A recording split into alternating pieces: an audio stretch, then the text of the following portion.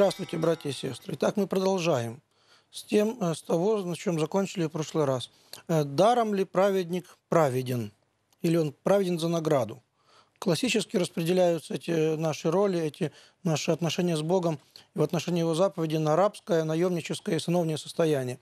То есть раб боится наказания, э, наемник ожидает награды, сын делает так, потому что знает отца и творить не может иначе, потому что любит отца и не хочет творить э, волю свою, но творит волю его с внутренним э, удовольствием и согласием, как Исаак э, вплоть до жертвенника ложится на жертвенник из послушания отцу, как Христос, идущий на крест ради исполнения воли отца.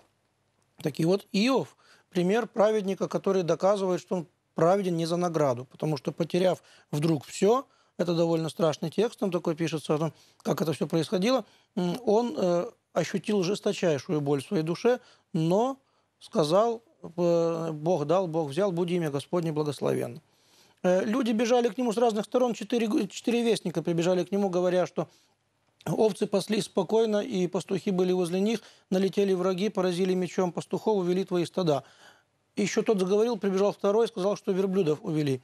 Еще тот заканчивал речь, как прибежал третий, говорит, что огонь небесный упал на, с земли на небо, с неба на землю и пожрал твоих овец там еще одни стада. Еще тот не закончил, как говорит, что прилетел ветер из пустыни э, и обрушил дом, в котором пировали дети, они все погибли под обломками.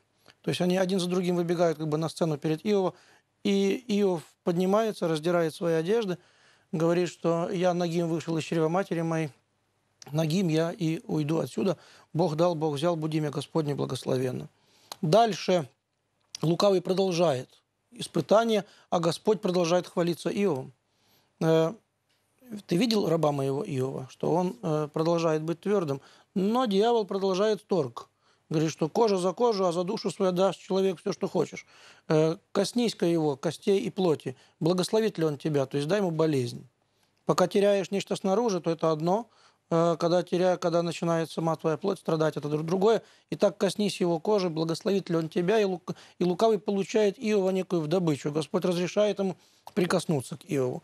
Э, то есть плоть его и кости его твои, а душу его не трогай. Кстати, здесь э, любителям поспорить, а я часто их встречаю, есть такое прямое исписание доказательство того, что душа – это одно, а тело – это другое. Так душу не трогай, вот кости и плоть его твои. Э, и с Иовом происходит нечто, что было с мучениками. Когда мы читаем истории мучеников, мы удивляемся, сколько крови, сколько тяжелейших страданий, сколько издевательств, сколько невыносимых мучений. И, и где Господь? Э, Господь тут, Господь рядом. Совершаются такое, драматические такие события. Испытание верности происходит. Э, кто может на эту любовь, зайти на эту вершину любви, тот восходит на нее таким тяжелым путем. Иов одевается в проказу скоблит себя, выходит за город, э, за, за, за жилище, скоблит себя черепком, и тут начинается уже, мы приближаемся к, э, собственно, к тому тексту, где начинаются крики, где начинаются крики на небо и глубокие рассуждения из болезненного сердца. Так вот, даром ли праведник праведен? Э, по-настоящему даром, братья и сестры. Если Богу угодно, Он одевает человека славой и богатством. Это если ему угодно. И праведник благодарит его за это. Если Богу угодно, он отнимает у праведника богатство и славу, и праведник благодарит его за это. Это проверка праведности. То есть готовность потерять. То, что ты имеешь сегодня, это, э, наверное, э, тот оселок, на котором затачиваются э, самые крепкие такие орудия в руках Божьих. Если человек привязан к ним настолько, что теряя их, он малодушествует и даже отрекается от Бога, такое бывает, к сожалению, часто, бывало и бывает, то, конечно же, такая, такое богатство, такая награда э, обнажают э, такую как бы ну, слабость души, что ли, слабость души человеческой. По-настоящему праведник праведник ни за что. Э, есть примеры, когда люди проводили жизнь весьма убогую и смиренную, и были Богу благодарны, и хорошо жили э, как бы в мире с заповедями Божьими. Причем, когда награждали их, когда Господь давал им некое богатство, славу, честь, они теряли то, что имели. Так произошло с целым народом еврейским, когда они, бедненькие, ходили по пустыне и за жизнь свою боролись каждый день, и питались манной, и сопротивлялись врагам, и полились зноем, они к Богу прибегали, потому что Бог был их жизнью, выживали они в пустыне Богом. Когда пришли в землю текущую молоком и медом, Моисей предупреждал их, будешь есть, насыщаться, там будет все э, роскошно и красиво, не забудь Создателя. Но они забыли. Э, потому что в роскоши человеку тяжелее сохранить благочестие. Вот сжатая вода поднимается вверх, а скорбящая душа ищет Господа. Э, вот Иов праведен ни за что. Ни за что. И это большой пример, братья и сестры. Хотя он не безупречно праведен в нашем понимании, он такие всякие, значит, там настолько огорчен он и настолько смущен, но нужно понимать, что он живет еще до закона. Еще ни одной заповеди не прозвучало такой написанной. Еще, еще нет ни одной священной книги, он читать-то не умеет, Иов сам. Э, еще э, нету благодати еще не излит Дух Святой на мир, еще не совершен искупительный подвиг Христа, еще человечество не обновилось благодатью. Еще нет ничего, есть только совесть, в которой, как в книге, праведные люди древности читали Божие повеления. И Иов служит Богу, о чем мы потом почитаем э, более подробно.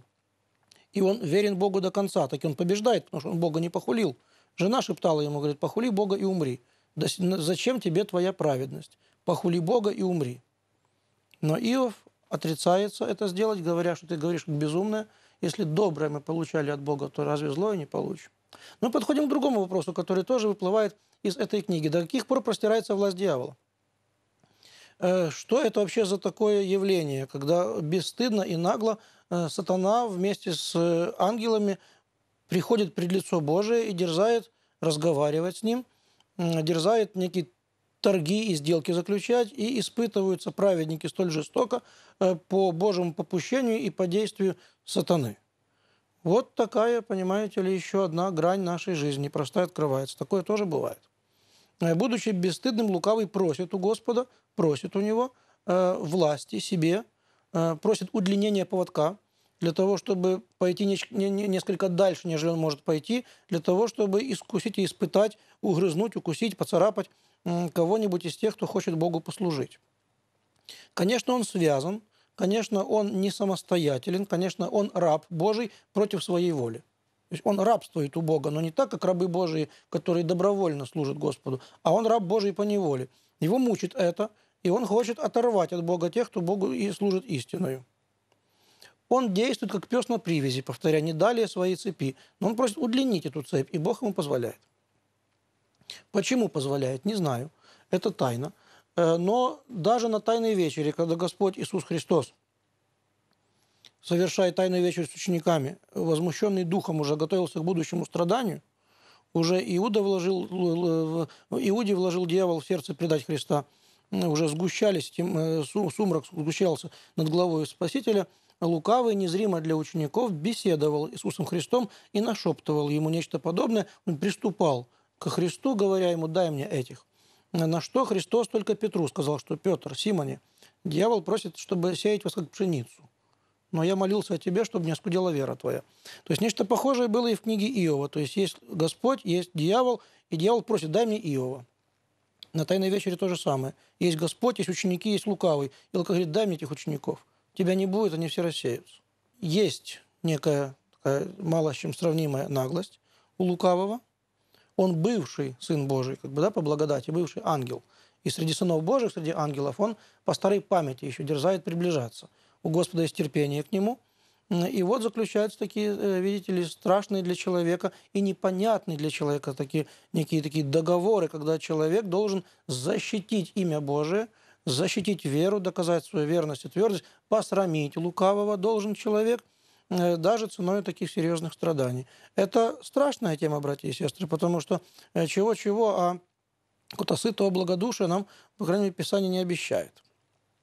Иов выдерживает это, ну а мы, когда начинаем отчаиваться, унывать, когда мы спрашиваем, за что мне, почему я, почему вот у них вот так, а у меня вот так, э, это тоже говорил Иов, мы находим в этой книге для себя величайшую помощь. Это такой костыль, который не ломается. Знаете, такой, опираясь на, эту, на этот посох, как бы такой страннический, на эту книгу, на мысли, содержащиеся в ней, мы можем подкрепить себя э, в любой серьезной беде, потому что нам обычно приходится терпеть что-то по частям. Не все сразу, что на Еву упало, а какие-то осколки и части, какие-то кусочки этого. На него упало все, на нас падают такие, значит, потихоньку, помаленьку, так частями это все. Но мы себя находим в этой книге. Это, в общем-то, она и подарена, очевидно, человечеству для того, чтобы мы в ней находили себя и через нее себя выговаривали, выплакивали свою скорбь до конца, не понимая, что же творится в этом мире. Это, пожалуй, последняя мысль, на которой я сейчас остановлюсь, а завтра мы продолжим эту тему. Итак, чтобы понять, что происходит в этом мире, нужно выйти за пределы этого мира. Изнутри этого мира происходящее здесь непонятно. Понимается это только тогда, когда нам известна вся драма истории, вплоть до замысла, вплоть до происходящего в иных мирах. До тех пор, пока мы этого не знаем, происходящее в этом мире покрыто некоторой степенью таинственности. Для нас не все ясно. И не усиливайтесь все понять. Все никогда не поймете. Вот, пожалуй, последние слова, которые успеваю сказать сегодня. Ну, а завтра встречаемся и продолжаем тему разговора э, о книге Иова. До свидания.